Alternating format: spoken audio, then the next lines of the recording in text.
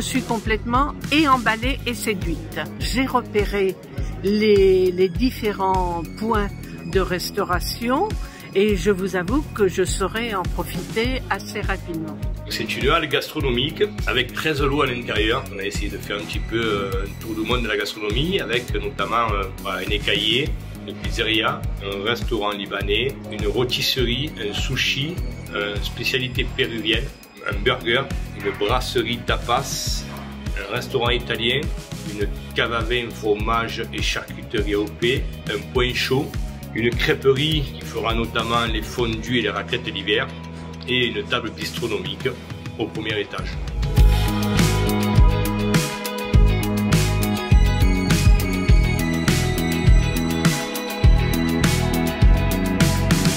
Madame le maire, bien évidemment, était aussi la porteur de ce projet avec tous les élus et nous sommes heureux eh ben, de pouvoir euh, accueillir dans ce lieu magique eh ben, les Ciotadins, les touristes. Vous êtes en face de la plus belle baie du monde. Je voudrais remercier tous les gens qui se sont investis, et tous les commerçants qui s'installent dans ce lieu magique.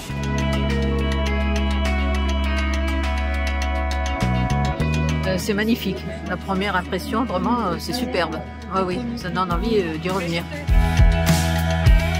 On essaye de travailler la proximité.